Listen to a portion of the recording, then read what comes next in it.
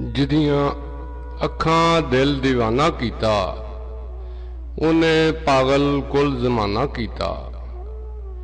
ਪਹਿਲੇ ਅੱਖੀਆਂ ਨੂੰ ਮੈਂ ਖਾਨਾ ਕੀਤਾ, ਫਿਰ ਲਬਾਂ ਨੂੰ ਉਸ ਪੈਮਾਨਾ ਕੀਤਾ। ਪੁੱਛਣਾ ਅੱਖੀਆਂ ਕੀ ਫਿਰ ਅਤਾਂ ਚਾਹੀਆਂ, ਜਿਸ ਘੜੀ ਮੈਂ ਯਾਰ ਰਵਾਨਾ ਕੀਤਾ। ਜਾਣ ਵਾਲੇ ਨੇ ਇਹ ਕੀ ਜ਼ੁਲਮ ਕਮਾਇਆ ਹੱਸਦਾ ਵਸਦਾ ਸ਼ਹਿਰ ਵਿਰਾਨਾ ਕੀਤਾ। ਹਿਜਰ ਚ ਅੱਖੀਆਂ ਰਿਮਜਮ ਲਾਈ, ਦਰਦਾਂ ਮੌਸਮ ਹੋਰ ਸੁਹਾਣਾ ਕੀਤਾ।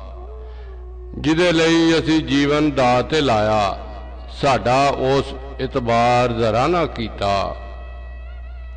ਦਿਲ ਜਿਗਰ ਤੇ ਸੀਨਾ ਅੱਗੇ ਕੀਤਾ, ਤਿੱਖੀਆਂ ਪਲਕਾਂ ਦਿਲ ਨਿਸ਼ਾਨਾ ਕੀਤਾ। ਜਿਹਦੀ ਖਾਤਰ ਦੁਨੀਆ ਨਾਲ ਵਿਗਾੜੀ ਉਸ ਰਕੀਬਾਂ ਨਾਲ ਜਰਾਨਾ ਕੀਤਾ। ਇਸ਼ਕ ਤਾਂ ਰਹਿੰਦੀ, ਖੁੰਦੀ, ਮਤ ਵੀ ਮਾਰੀ। ਇਹ ਪਰ ਹਿਜਰ ਨੇ ਕੁਝ ਕੁਝ ਦਾਣਾ ਕੀਤਾ।